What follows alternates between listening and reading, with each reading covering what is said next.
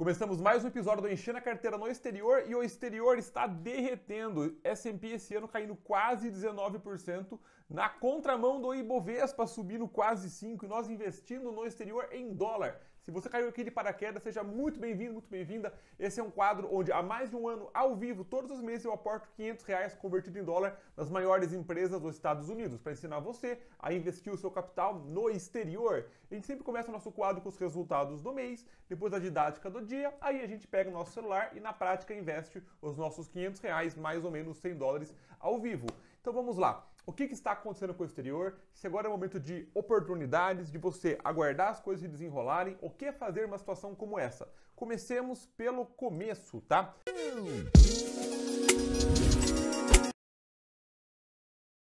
Nossos resultados do mês. Começamos aqui. Nossa carteira, neste ano, ela está com uma queda de 28%. Mateus, é uma carteira horrível. Olhem só como a tempestade perfeita se forma. Ibovespa subindo, S&P caindo e o dólar caindo. Ou seja, deixa eu tirar aqui minha cara para vocês verem um pouquinho melhor. O dólar caiu desde que a gente começou a investir, o S&P caiu também e nosso controle aqui é feito em reais. Então, em reais, estamos com uma perda de mais de um quarto do nosso capital investido. Se a gente for olhar nas principais rentabilidades da, da carteira por ativos, está aqui embaixo, né? O ativo que mais perdeu dinheiro para a gente foi a Disney, com uma queda de 37% o Facebook 35% no terceiro lugar, a Amazon com 32%. E agora é hora de comprar mais desses ativos, esperar eles, comprar ativos novos, esperar o que fazer em uma situação como essa. Como que o investidor que está começando ou já tem a carteira na prática decide o que fazer. E olhem que época maravilhosa que estamos fazendo esta aula. É porque hoje, 24 de maio, é meu aniversário? Não, apesar de ser também. É porque já saíram os primeiros resultados do trimestre de todas as empresas. E se você acompanha o nosso outro quadro, Encher a Carteira no Brasil, que está aparecendo a tag aqui, se eu lembrei, no Brasil a gente viu o resultado trimestral das empresas, identificamos empresas que tiveram uma performance extremamente interessante, um resultado muito bom, e ainda assim a cotação delas caíram, e aportamos nessas empresas. Não porque elas estão baratas ou estão caras, preço não importa. O que importa são o resultado das empresas. E como o mercado está derrubando o preço delas, isso gera um nó na cabeça de principalmente de quem está começando. Qual que é a grande sacada? Em épocas que a bolsa está valorizando, está todo mundo indo bem, empresas ruins valorizam também. Por conta da euforia do mercado, essa dívida não tem nenhum problema, ela vai se dar bem, tudo vai se recuperar, tá tudo certo. Qual é o problema? Quando está em queda o mercado, o contrário também vale. Empresas com resultados muito bons também tendem a cair por conta do medo, do pânico. Ela performou bem, mas ela não vai conseguir segurar esse resultado, o mundo vai desabar, ela vai desaparecer. Então, essa dicotomia de curto prazo afeta a decisão do investidor, principalmente do iniciante. Qual é o grande problema? depois de uma época de altíssima euforia, que mesmo empresa tomando dívida, sem gestão de caixa, com faturamento de perdendo margem operacional, com concorrente entrando, quando o mar está a favor, a economia está aquecida, você não percebe o problema dela. Porém, quando vem uma recessão, o preço dela tende a sofrer muito, porque aquela dívida ela não vai conseguir pagar, a falta de gestão de fluxo de caixa vai afetar o faturamento da empresa, a margem operacional que estava com gorduras não foi otimizada, vai acarretar em mais prejuízo para a empresa que entra numa bola de neve da espiral da morte. O contrário também é válido para nossa alegria. Em um momento que as empresas estão performando muito bem e o mercado está morrendo de medo, morrendo de receio, que até pode afetar de fato o resultado delas no curto prazo, mas elas continuam sem dívida, mantendo a parcela de mercado com um bom diferencial competitivo, com uma boa gestão de caixa, quando o mercado recuperar, as empresas que morreram saíram do mercado, as empresas que ficaram, sobreviveram, vão pegar o mercado das que morreram e vão crescer muito mais, porque investir em renda variável não é um jogo de quem chega mais longe. É um jogo de quem sobrevive por mais tempo. E quem sobrevive tende de fato a ganhar. Não é 100 metros rasos, é uma maratona. Então vamos lá, olhem só como as coisas são curiosas de fato. Voltando aqui para o nosso site, que essa aula aqui é uma aula riquíssima de conhecimento para você. Então, se você caiu agora aqui de paraquedas no nosso canal, deixa o like, melhor jeito do YouTube entender que o vídeo é bom e divulgar para mais pessoas, e se inscreve no canal para nunca perder nenhum vídeo novo. Vamos lá, três maiores prejuízos, Amazon, Facebook e Disney. Vamos olhar aqui pelo site do Fundamentei o resultado da Amazon do trimestre. Olhem só como é bem diferente o resultado da Amazon do resultado das outras, tá?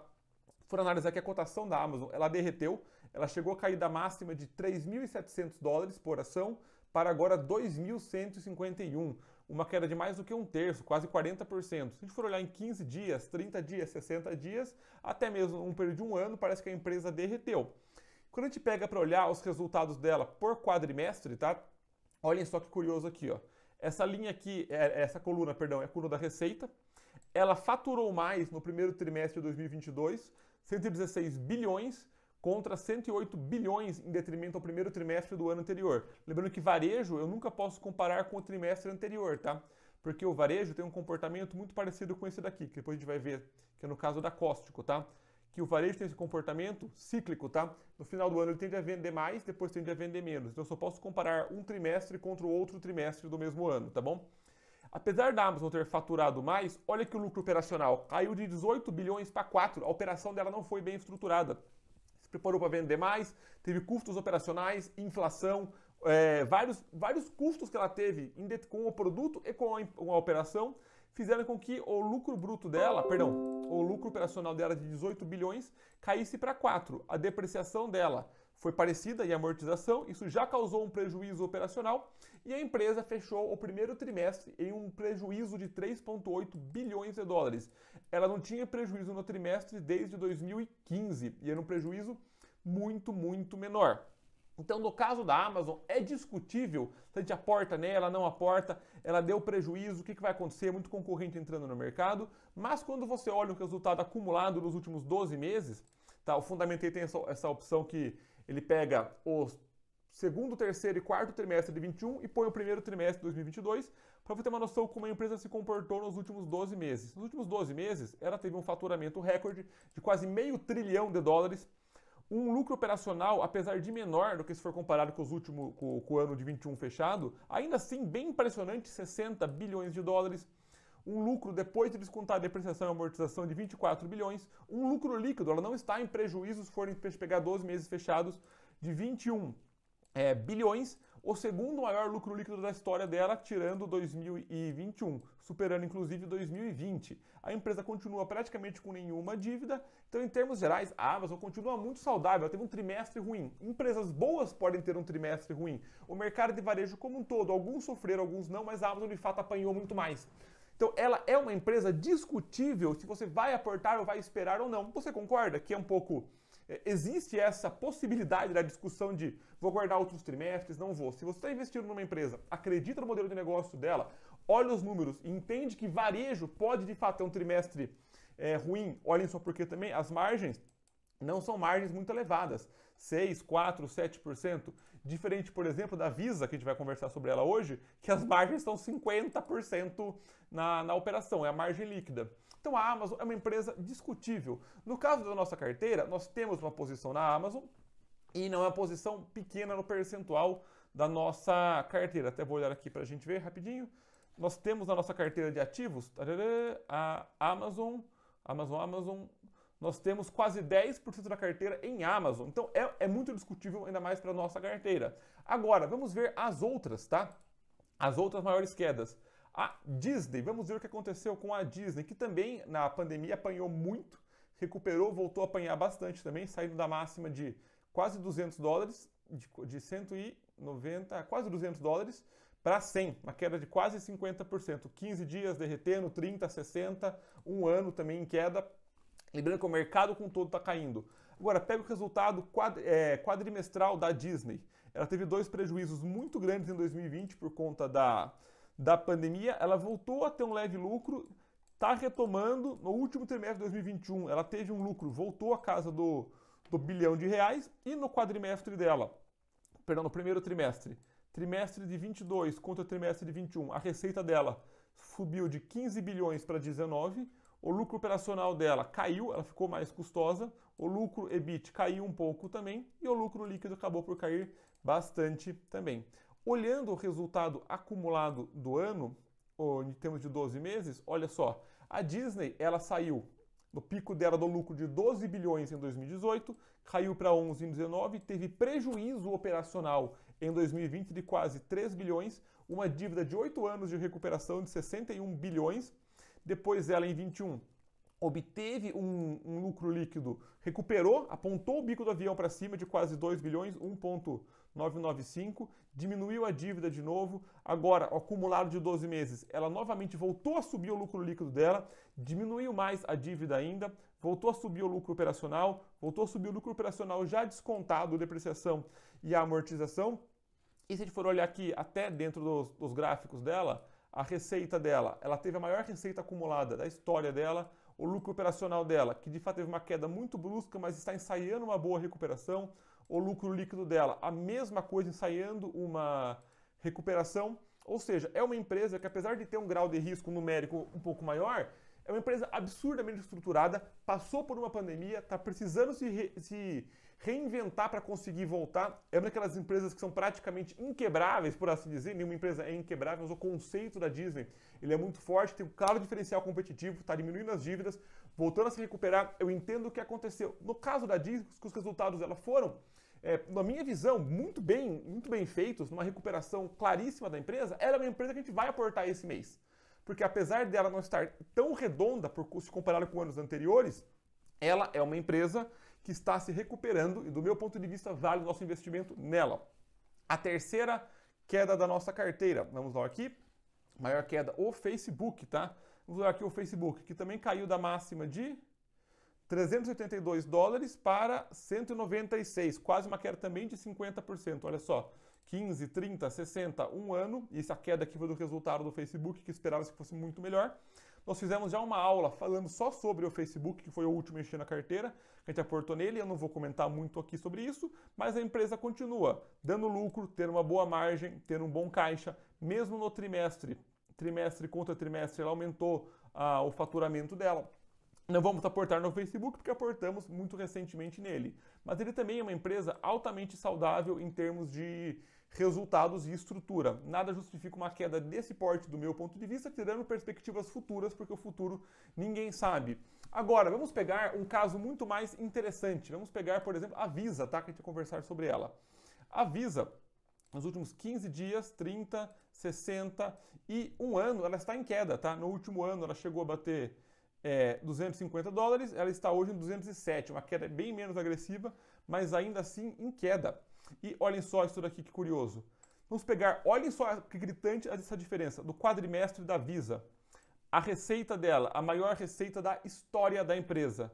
O lucro operacional, o segundo maior lucro operacional da história da empresa, só perderam para o último trimestre de 2021 o segundo maior lucro operacional já descontado depreciação e amortização, o segundo maior lucro líquido da história da empresa, uma margem de 50%, um caixa bilionário, olhando o acumulado nos últimos 12 meses, maior receita da história da empresa, maior lucro operacional da história da empresa, maior lucro líquido da história da empresa, com zero dívida, olhando aqui no gráfico inclusive, receita, uma linha reta, EBITDA, outra linha reta, lucro operacional, outra linha reta, como não investir numa empresa desse porte? Como que você não põe dinheiro num negócio desse? O mercado em pânico, ele faz isso. O que eu quero que vocês entendam é o seguinte, olha só, lucro líquido e preço. Reparem o seguinte, é impossível, praticamente impossível no longo prazo, o lucro não puxar o preço. No curto prazo pode acontecer isso daqui. Porém, essas linhas aqui, a linha verde ela é o lucro líquido e em dourado é o preço. Não tem como uma empresa lucrar mais e no longo prazo não ir atrás. A gente pode pegar qualquer empresa que a gente olhando aqui, lucro líquido e o preço. Ele vai acompanhar até a própria Amazon. Lucro líquido e o preço vai acompanhar. Não tem como não acompanhar, porque o mercado não é besta. Agora, uma outra empresa, Acóstico, também varejista, tá? Não é concorrente direto da Amazon, porém tem um paralelo em cima disso. Olhando aqui, ó. Vamos olhar pelo próprio gráfico, tá? Repare como é importante você ver o ciclo de mercado, porque a empresa varejista no último, no último trimestre do ano sempre vende mais. Vou pegar aqui a Costco no trimestre. Primeiro trimestre de 22. O melhor primeiro trimestre da história da empresa, tá? O lucro operacional, melhor primeiro lucro operacional da história da empresa. Vou olhar aqui no gráfico que fica mais fácil para vocês verem. Primeiro trimestre de 21, receita. Ó, primeiro trimestre, aqui outro. Maior, maior, foi sempre maior. O lucro operacional da empresa também. E outra coisa, um detalhe, tá? Quando o lucro operacional e a receita andam muito juntos, isso é um sinal que a empresa tem uma saúde financeira muito, muito grande. A gente é, explica isso muito no detalhe no nosso curso online, o Renda Passiva Vitalícia, mas aqui para vocês entenderem bem rapidinho, quer dizer o seguinte, que quando uma empresa entre a receita operacional sai custo do produto e custo da empresa, e isso não tem uma diferença muito grande, a empresa tem uma operação muito bem estruturada, que é um diferencial competitivo monstruoso. O lucro líquido dela, também o maior lucro líquido do primeiro trimestre da história da empresa. Aqui ó, você nem enxerga uma crise na empresa. E se você vê, inclusive, no ano acumulado, aí fica mais fácil analisar o varejo, olha só, a receita dela, olhando por ano agora, tá? Ou tá por trimestre. Só uma linha reta, o operacional dela, só uma linha reta, o lucro líquido, só uma linha reta. A dívida da empresa, ela toma dívida conforme ela vai subir no resultado, só que ela consegue honrar a dívida com o caixa, por isso que a dívida dela aqui é zero. Então, essas são empresas que nós temos na carteira. E eu queria mostrar para vocês duas empresas novas que agora o setor de tecnologia está sofrendo muito, muita incerteza em relação à tecnologia, o custo da energia tende a subir, tem muito receio de taxa de juros subindo, empresa pegar capital mais custoso e eu como fundamentalista, um buy and holder de longo prazo, eu quero que a empresa de fato é, tenha o meu capital para conseguir se desenvolver ao longo do tempo, ser sócio dela, não importa o momento. E vou mostrar para vocês aqui duas empresas concorrentes que é a Intel, que é a mais famosa, e a outra a AMD, duas concorrentes diretas. Qual que é melhor? Qual que eu invisto? Nas duas, no caso. Se a gente for pegar o seguinte, no caso, a Intel, olha só, empresas de tecnologia no último ano derreteu, caindo morro abaixo. Nos últimos cinco anos, vou pegar a máxima dela foi em 2020, 2020 68 dólares, hoje está 42 dólares. Legal? Se a gente for pegar aqui o resultado do quadrimestre da Intel, olha só que curioso. Olha só que curioso, o, a parte patrimonial dela, óbvio que deu algum problema aqui, ela não foi para zero. A receita dela do trimestre, observem, o lucro operacional da empresa, o EBIT, o lucro líquido. Reparem o seguinte, apesar da receita não ter sido a maior, o lucro operacional foi a maior. A empresa conseguiu estruturar a operação dela para ser menos custosa. Então, maior lucro operacional, o maior lucro líquido, a maior margem da história da empresa. Olhando no acumulado aqui, que fica mais fácil de enxergar em termos de faturamento. Foi o terceiro maior faturamento da empresa, perdeu para 21 e perdeu por um pouquinho para 2020, mas o maior lucro operacional, o maior lucro líquido, a maior margem da empresa continua com zero dívidas. A AMD, que no ano passado vendeu mais processadores do que a Intel, também vem sofrendo muito no último ano. Ela chegou a bater 161 dólares, hoje ela está em 95, uma queda de mais do que um terço, quase 40% olhando o quadrimestre dela, maior faturamento no quadrimestre, maior lucro operacional, não foi o maior é, lucro operacional descontado depreciação e amortização, ela de fato teve aumento patrimonial, que faz com que tenha um aumento na depreciação, por óbvio. E um lucro líquido excelente da empresa também. Olhando o acumulado de 12 meses, acumulado de 12 meses, é uma empresa, reparem, não tão estruturada, não tão redonda quanto a Intel, porque ela chegou até 2017 dar prejuízos constantes, por isso que a gente vai colocar mais capital na Intel, que é muito mais redonda, podem reparar só pelos números aqui, do que a AMD, mas a AMD é uma concorrente que vem de fato se reestruturando, subindo muito o lucro líquido dela, de 300 milhões, 341, 2.4 bi, 3.1 bi, 3.4 bi, operando com zero dívida, um caixa bilionário e uma receita bilionária. Também merece o nosso capital. Então nós vamos aportar este mês na Intel, AMD, na Costco, na Visa e vamos pegar um pouco da Disney também, que está na recuperação. Vamos aportar nessas 5, 1, 2, 3, 4, 5 empresas. Entenderam, pessoal, como é que você deve analisar as empresas? É óbvio que eu li o site de RI delas, li o report, entendi as perspectivas do futuro. Mas sem mais delongas, vamos agora aportar nas empresas. Vamos lá. Vamos começar procurando a Disney. E nós temos 102 dólares, se não me engano, aqui Disney, Disney, cadê você? Discovery não. Cadê a Disney? Acho que se eu digitar Disney, vem mais fácil, certo? Vem Walt Disney Company. Vamos comprar a Disney. Está em queda, inclusive hoje. Não vamos comprar por, vamos comprar por valor de mercado, certo? Temos 102 dólares, vamos comprar 20 dólares de Disney. 20 dólares de Disney. É isso daí, certo? Certo enviar a ordem de 20 dólares de Disney, show de bola, enviamos 20 dólares de Disney. Confirmar a ordem, perfeito, não dar indicar para ninguém hoje, acho que não. Então compramos R$19,99 da Disney. Vamos agora comprar outra empresa maravilhosa, que é no caso a Visa. Vamos procurar Discovery, buscar a Visa, uma empresa com uma margem de 50% com resultados recordes, atrás de resultados recordes, como é que você não quer ser sócio uma coisa dessa? Eu gosto de empresas assim, que gritam para você e falam: como que você não é meu sócio? Como que você não tem dinheiro aqui? Se está na dúvida, sempre coloca na pilha do não, tá? Tem três pilhas: sim, com certeza, não com certeza e talvez. E o talvez ele vira ele vira não. Isso eu acho bem legal esse, esse filtro. Vamos agora para Costco, empresa do varejo que performou absurdamente bem. É, não é concorrente da Amazon direto, porque são modelos de negócio diferentes. A Costco ela tem modelo de negócio baseado em renovação. Você paga o cartão, parecido com o Sans Club para quem é aqui de, da região de São Paulo, na qual você assina o cartão e você pode comprar as coisas lá. A Costco não ganha nos produtos, ela ganha na assinatura, com a taxa de renovação acima de 90%. Agora faltam duas, a Intel e a AMD. Vou comprar um pouquinho menos da AMD e vou comprar mais da Intel por conta de risco. Porém, aquelas duas concorrentes, a AMD está crescendo, está se desenvolvendo, é uma empresa de risco um pouco maior e eu quero apostar é, nela. O código dela é Advanced Micro Devices AMD mesmo, né? Não sei se ele vai achar. Tem que colocar o nome dela da bolsa mesmo. Vou colocar aqui. Advanced Micro Devices. Ela vai encontrar aqui. Empresa de tecnologia tende a sofrer muito com a alta dos juros. Vamos lá, se demorar muito, dá uma cortadinha aqui no vídeo, mas vamos ver se de fato acha rápido pra gente.